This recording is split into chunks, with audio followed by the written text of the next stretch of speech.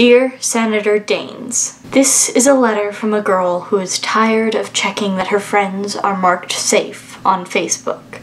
This is a letter from a girl who experienced true terror as she saw people like her targeted in the town where her sister lived.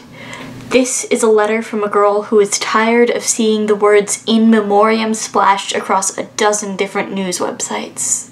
This is a letter from a girl who wants to burn the black dress in her closet because she is sick of living in a nation that is content to live in perpetual grief, happy to ignore the blood and tears running through the streets so long as they don't have to change anything. This is a letter from a girl who cannot accept that to some, access to a ridiculously overpowered weapon is worth more than the lives of a school's worth of children. This is a letter from a girl who wants to in disgust that those who are supposed to represent and protect the American people have instead decided to line their pockets with the money of the weapons makers. This is a letter from a girl who has lost track of the number of mass shootings that have happened in her lifetime, whose sister lost a friend in Orlando, whose high school friends hid in a hotel room in Vegas, whose teacher had tears streaming down her face as she told us about the five year olds lost in Sandy Hook.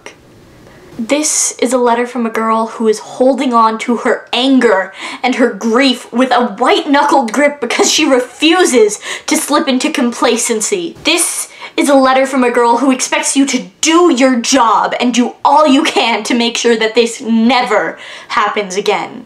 This is a letter from a girl who will one day run for your seat, and so far has only learned what not to do from you. Sincerely, Rebecca Matheson.